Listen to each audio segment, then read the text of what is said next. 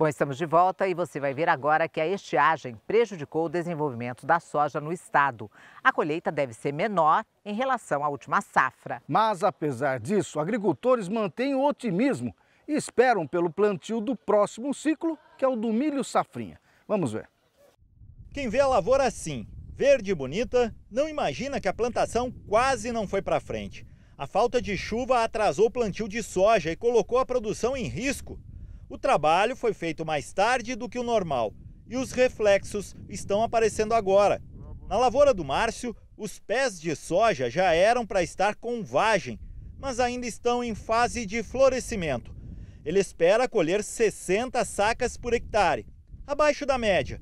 Mesmo assim, está confiante, já que voltou a chover com regularidade. É, ela não vai ser aquilo que a gente esperava, mas está indo bem por tudo que passou, o sol veio judiando aí, pouca chuva, mas ainda está indo bem, mas não vai dar aquela produção esperada não. A estiagem atrapalhou o plantio e também a previsão que os produtores paranenses tinham de bater o recorde de produção de soja.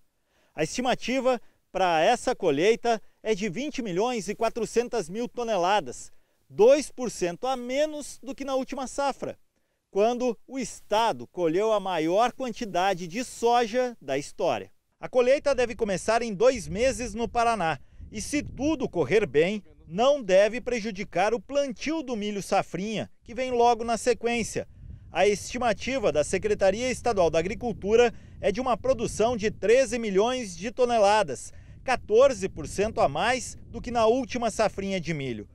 Boas colheitas é tudo o que o agricultor quer para aproveitar os bons preços dos grãos. A esperança é ter uma boa colheita de soja e fazer uma boa colheita de milho safrinha também, né? Que é o que a gente planeja, né? Agora depende de clima. E clima né, a gente não manda, né? A gente obedece. Agora se o clima colaborar, aí é faturamento certo. É, a nossa parte nós faz, né? Aí vem o, o clima para completar a nossa nossa colheita, né?